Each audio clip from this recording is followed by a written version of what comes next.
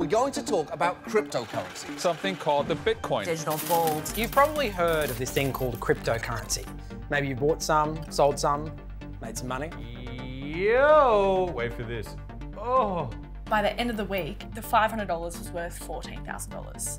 It was amazing. Or maybe you've lost some money. Well, I was panicking. My heart was racing. 20,000 Australian dollars gone, disappeared. One in five Australians now own some kind of crypto. And about three months ago, I joined them.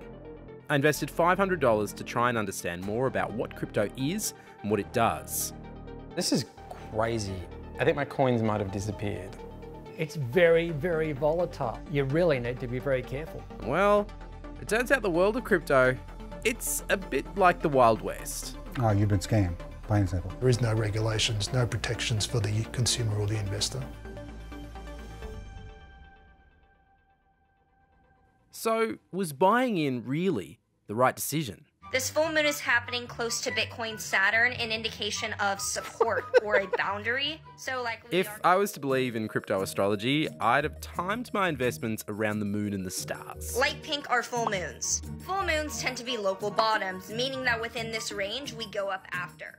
Doesn't mean. And honestly, investing in crypto feels a bit like placing your trust in the stars. It's very unpredictable. Few months ago, I met Robert Browning. From his home in rural Indiana, he's part of a group that analyses crypto projects. And not long ago, he found a project in Australia that had some red flags. So it was going to be the Pokemon Go of the sports world. And, and the idea was a good idea. Sportimon Go was a project founded by Australian football star Ricky Jackson. Well done, Ricky Jackson. He sprints, he bounces, a great goal. And his son, Corey. This is truly an equal partnership and SGO. But we're moving at uh, crypto light speed. When it first appeared, Sportimon Go and its SGO token created a bit of a bang. They said they were building a kind of Pokemon Go sporting game and an NFT marketplace. Now, you might have heard of NFTs or non fungible tokens. They're a one of a kind digital asset, in this case, collectible sports cards. The hype was building and investors piled in. Sportimon Go sponsored major sporting events. Yo, what's up, guys? As you know, this Sunday, Jake Paul is fighting, and it's going to be an absolute viral fight. And the official sponsor is Sportimon Go, um, an absolutely huge token killing it. They paid for billboards in Times Square and the New York subway. Super excited to inform everyone on the next six months. Sportimon Go, let's buddy go. They teamed up with Scottish Premier League teams and sponsored the Rabbitohs. They'd be one of the biggest franchises known um, in Australia, but also globally. And since that deal's been done, our, our phone's sort of been ringing off the hook. They even appear to have a bunch of sports stars in their corner. Hey guys, I'm pumped to let you know that I've partnered with Australia's leading NFT company, Sportimon Go, to create my own custom line of exclusive digital collectibles. Appreciate the opportunity to be a part of something so exciting. Hi everyone, Luke Shaw I can't wait to join Sportimon Go's team to create my NFTs. If being part of this enables people to have a better understanding of my journey and if it's a inspiration to others, then that can only be a good thing. So I'm very looking looking forward to where the journey leads us. But things haven't gone too well for Sportimon Go.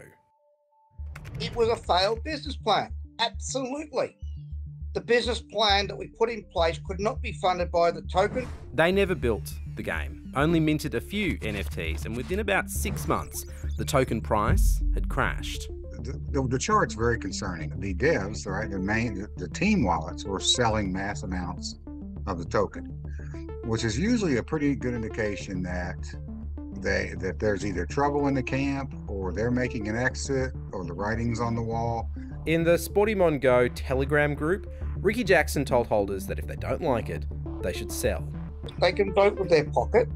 No one's stopping them voting with their pocket, right? That's what a market economy is for. You buy when you like something and you sell if you're unhappy. But the Sportimon Go team also increased the sales tax, so investors would lose around 30% every time they sold their tokens. So, what does that mean for people who bought this token? Now you don't have investors, what you have are hostages. And these people are hostages. They cannot sell.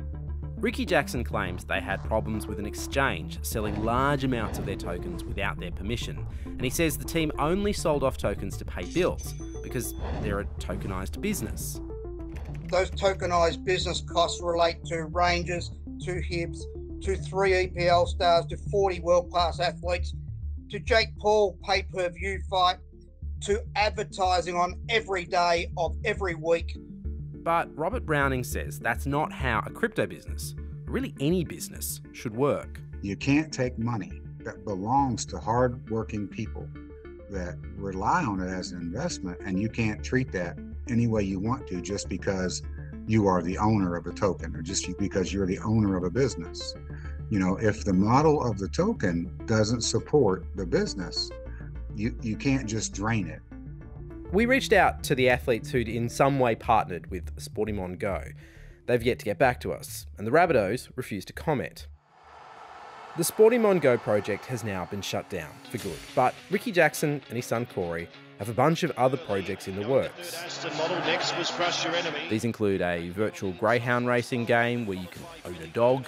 It's one of the last ones with Rupp in Vegas along the back day. Favourites taken. And something called an algorithmic stablecoin that they say will give former Sportimon Go holders 100 times returns on the value of their old coins. However, not for five years. The feed reached out to Ricky Jackson, and in a statement, he told us Judging by your line of questioning, it is clear to us that you have clearly been misinformed. Sportimon Go is a tokenised business to be fully funded by the token. At all times, the director and team have acted in accordance with professional business standards within UK company law. Unfortunately, the truth is simple. Despite the best endeavours of the director and team, the SGO slash SGOX token was incapable of funding the tokenised business plan and vision. The full statement can be found on our website. We're not saying that Sportimon Go has broken any laws. They say they've always been upfront with investors and haven't misled anyone. But for the investors who have lost money, it highlights the risks and the volatility of crypto. It's certainly more common for a crypto project to fail than succeed. You know, that's, that's sort of very clear. I'd say on an international scale, a substantial proportion are not even really built to succeed. They're just built to harvest money from investors. Professor Ross Buckley spends his days researching blockchain technology and fintech, or financial technology. He reckons we all need to understand more about this technology because it is here to stay. We live in an extraordinary world where a sea change is underway. It will really change things completely in a lot of ways in the next decade, but trying to pick which one is going to win is a different matter. And if you haven't picked a winner, there's not a lot you can do about it. What we have is a bundle of laws that govern this, but there are laws in old categories to govern fundamentally new development. If they're in Australia, you've got a chance of enforcing your rights, particularly if you've been misled or deceived. If it's overseas and you're an ordinary investor, go to the pub and have a beer. Don't try. It's not worth it. Those with skin in the game say that stricter and more specific crypto regulation is inevitable. The stock market used to be the most unregulated, unruly place. There were scams, there were pump and dumps, all day happening on the New York Stock Exchange. Crypto entrepreneur Fred Schebesta says the wild west nature of crypto, it has an end date. All the regulation in stocks didn't used to be there. Same thing happen will happen with cryptocurrency, but it'll just take time. And then it'll become a really rock solid place. But there will be the fringes always in this because it's decentralized. Will that make it less attractive to a person like you, though? If it does become super stable, doesn't that kind of limit your potential? There's a long way from here to there.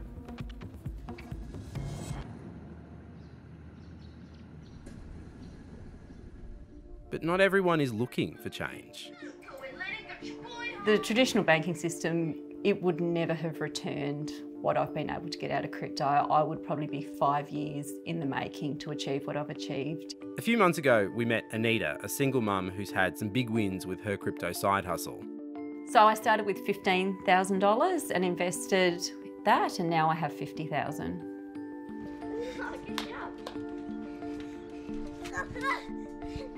Obviously, the financial gains have changed my life a lot because I've been able to provide some things for the children that I wouldn't have been able to do, pay my car off, those types of things.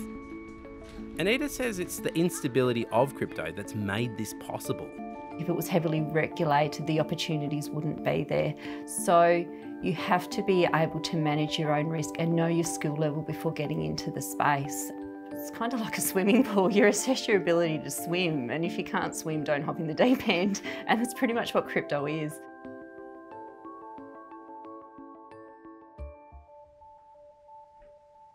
So, now for the moment of truth. Did we sink or did we swim? It's time to do the sums on my own crypto investment. You might remember I started with $500. I put the money into a project called Reefer Token, which was something to do with legal cannabis sales. We took a small loss on that one. I also invested in one called the No War Token, and it turns out you cannot bet on peace, as well as a coin that was supporting a virtual porn metaverse. I really thought that one would make me rich. I made a little money on the big coins, but I also lost out on some altcoins, which means after three months I am down 150 bucks. Which I have to say is definitely a reality check.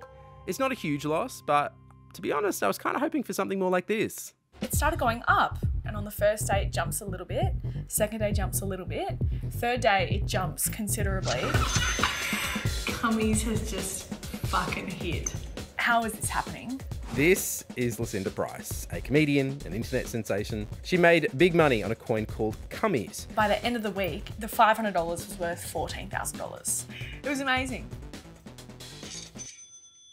And then, just as quickly, lost it all. But despite that, she is still in the game. In terms of my savings, like a fair chunk of that is in crypto now. I'm definitely in on Bitcoin and I'm just going to hold that forever because I believe in it. And also, I believe in fintech. Like, I think it makes complete sense that the next generation of sort of banks and stuff will be decentralized. I think. I like the take a beat, hedge my bet. Yeah, but I still want my CommBank account and my real shares. When we started this and I invested that 500 bucks, I mean, I'd done a little bit of research, but I don't think I had an appreciation for just how complicated the world of crypto can be. Like everyone else, I'd heard those crazy success stories. I just became a crypto millionaire. And the hype definitely made me crypto curious. It's the future of currency. It's an unstoppable financial vehicle that's going to take over the world. But after all this, it's impossible to ignore that there is a dark side. There's scams, the volatility, the lack of regulation. 20,000 Australian dollars gone, disappeared. You hear this line time and time again from crypto enthusiasts. It's DYOR or do your own research. But where do you start in a market that is so unstable? And the answer is, well, it's a really boring one. I think the key here is all about education. You need to read investment textbooks at the end of the day, there's no free lunch. I would love there to be a free lunch. But often it's a long, hard slog to grow your wealth through time and to do it in a way that is sustainable and safe. Crypto may well be the future of finance, but for me, I'm not sure I'm quite ready to go all in.